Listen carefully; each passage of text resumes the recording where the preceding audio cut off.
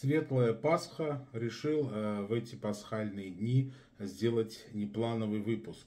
Тем более есть что сказать. Главное, досмотрите его до конца, ставьте лайк и э, нажмите на колокольчик. Также спасибо вам э, за донаты. Э, как вы знаете, в христианстве не запрещено отправлять молитвы и совершать богослужения на национальных языках. В исламе, да, там исключительно арабский язык средневековый или в крайнем случае фусха или аля, арабский литературный язык используется. А в христианстве иначе, но зато в христианстве имеются другие лингвистические правила. Они могут быть негласные, но они есть. И они железные богослужения русской православной церкви исключительно проводятся на старославянском или русском языке, как минимум. А, в армянской апостольской православной церкви а, древнеармянский язык грабар. А, в грузинской грузинский, ну и так далее. Во всех конфессиях есть свои лингвистические законы, которые неприкосновенны и которые нужно уважать. Первым соскочил э, с такого неуважения э, тоталитарный Китай. Там, понятно, коммунистический строй, китайцы опасаются уйгурского экстремизма, исламского фактора, поэтому в Китае есть негласное правило для уйгур-мусульман. А китайцы им говорят, религию, как было в СССР, мы не осуждаем, это ваше дело, но э, большие праздничные богослужения в мечетях э, должны быть не на арабском, чуждом нам языке, а на китайском. Это делается для того, чтобы и китайские спецслужбы, и другие заинтересованные лица понимали, что в молитвах, кроме молитвы, нет ничего. Нет призыва к экстремизму, например, нацизму, ну и другим радикальным изменениям в сознании общества.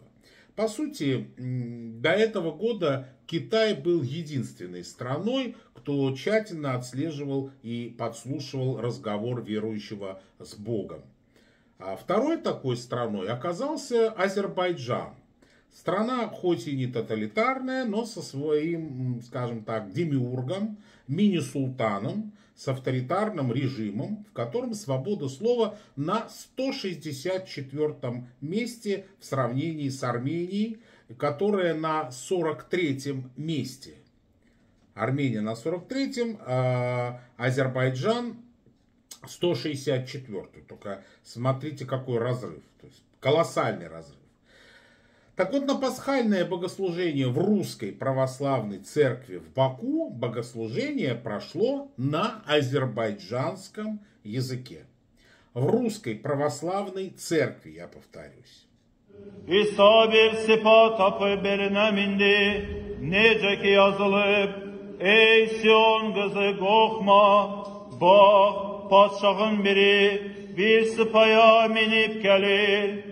Şairleri o zaman bu şeyleri Эй, Сион Газы Горхма! Это, конечно, шедевр, согласитесь. О, дочь Сиона, не бойся.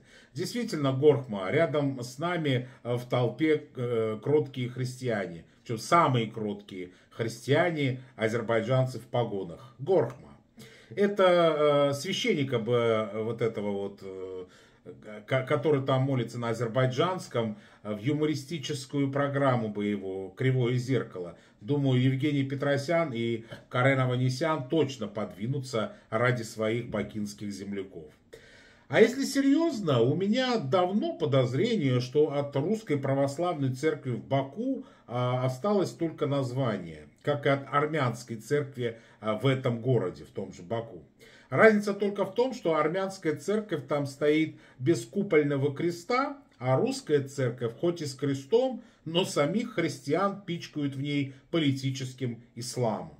А началось с того, что в этой церкви сначала благословляли исламистов, которые в Арцахе громили христианские храмы, хачкары, глумились над иконами, а потом в этой же церкви отпевали шахидов, как они их называют, хотя я бы назвал их шахиднутыми, а не шахидами. Шахиды это мученики за веру, а не за Алиева и его семью. А теперь вот дошло э, до того, что в этой самой э, церкви уже по-азербайджански молятся. Не ровен час, когда в один прекрасный день верующие войдут в храм, а там вместо креста будет полумесяц. И еще, по поводу свободы слова, о чем я выше говорил по рейтингам. Ни разу, ни при каких обстоятельствах русская православная церковь в Ереване не вмешалась в армяно-азербайджанский конфликт. И никто их даже не просил этого делать и не требовал это сделать в Армении. Теперь сравните, насколько свободная русская православная церковь в Армении и насколько не свободная она в Азербайджане. Даже молокане, основной постулат учения которых быть против войны и не служить в армии, в Армении они чтят это и не служат по призыву, а, не вмешиваются и не высказываются а, какие-то свои мнения а, вопреки Азербайджану и вообще по азербайджано-армянскому конфликту. Да и армяне с них этого не просят, потому что армяне знают, какова у них вера. Чего не скажешь о молоканах в Азербайджане. Так что это еще одно доказательство, что вам там, в Баку, до Армении так же далеко, как, э, я не знаю, до того же э, полумесяца. Христос воскресе, друзья!